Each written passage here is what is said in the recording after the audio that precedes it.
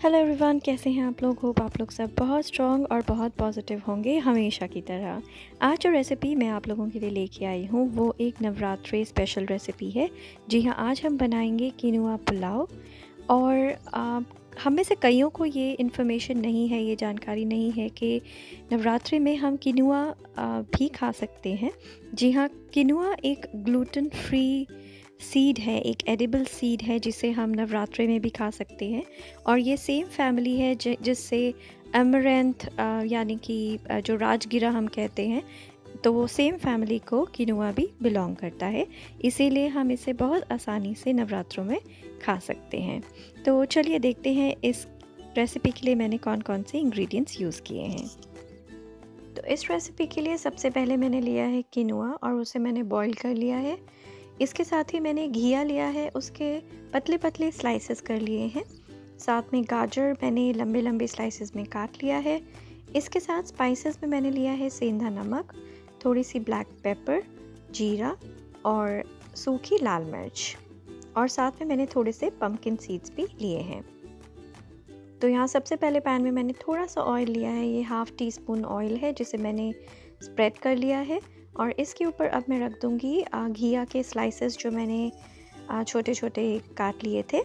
उनको मैं रखूँगी और इन्हें हमें हल्का सा ग्रिल करना है। बहुत फ्राई नहीं करना। तो यहाँ सारे स्लाइसेस मैंने पैन में रख दिए थे और इनको मैं टर्न कर रही हूँ। हल्का हल्का इन्हें हमें रोस्ट करना है। जब ये एक साइड से रोस्ट हो जाएँगे तो मैं, आप देख सकते हैं कि सारे जो हैं अच्छी तरह एक साइड से रोस्ट हो रहे हैं। तो यहाँ मैं हल्का सा सॉल्ट इन पे छिड़कूँगी और यहाँ सॉल्ट मैंने डाल दिया है। इसके साथ ही मैं इस पर स्प्रेड करूँगी थोड़ी सी काली मिर्च। तो यहाँ काली मिर्च भी मैंने इन पे स्प्रिंकल कर दिया है। और ये जो घिया जो है, जो मैं हल्का सा ग्रिल कर रही हूँ, आप इसे ग्रिल पैन पे भी कर सकते हैं। बट यहाँ मैंने नॉर्मल पैन पे ही इसको हल्का हल्का ग्रिल कर लिया है। तो दोनों साइड से हम इनको हल्का सा ग्रिल कर लेंगे। और एंड में मैं इसमें ऐड करूँगी थोड़ा सा रेड चिली पाउडर।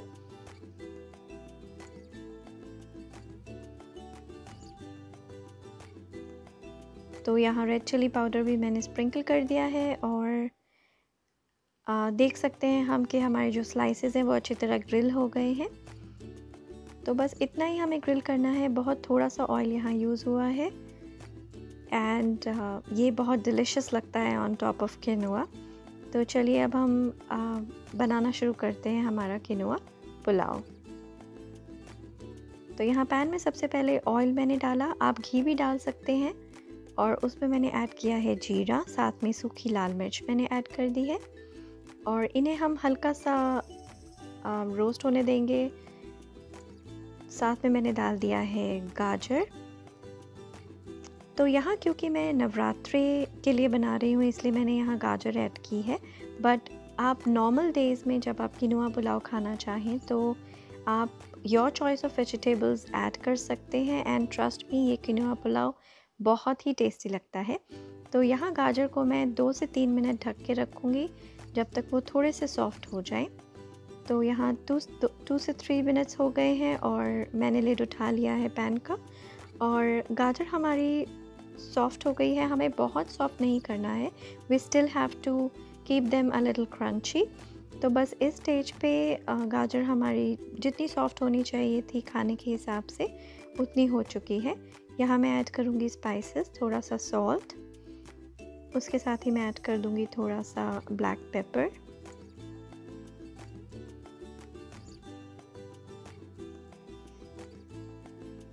और अब मैं इसमें ऐड कर रही हूँ हमारा बॉइल्ड किनोआ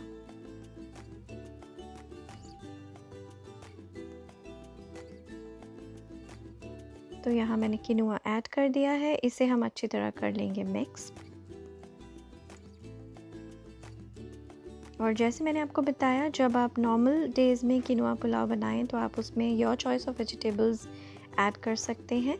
एंड ये पुलाव खाने में बहुत ही टेस्टी लगता है। And is a very good food for your gut as well तो यहाँ हमारा किनुआ पुलाव रेडी है। इसे मैं सर्व कर रही हूँ। तो मैंने यहाँ बोल में किनुआ पुलाव डाल लिया है और अब इनके ऊपर मैं जो हमने स्लाइसेस घी के ग्रिल किए थे, उनको प्लेस कर रही हूँ। तो ऐसे देखने में किनुआ पुलाव बहुत ही टेम्पटिंग लगता है एंड ट्रस्ट मी इसका टेस्ट बहुत अच्छा है and it's one of the healthiest foods that you can have even in your Navratras in your fast तो ये हमारा पुलाव बिल्कुल रेडी है to be served and to be eaten और लास्ट में इसके ऊपर मैं स्प्रिंकल कर रही हूँ कुछ पम्पकिन सीड्स आप इसके ऊपर थोड़े से आलमंड्स या कैश्यूज़ भी रोस्ट करके डाल सकते हैं.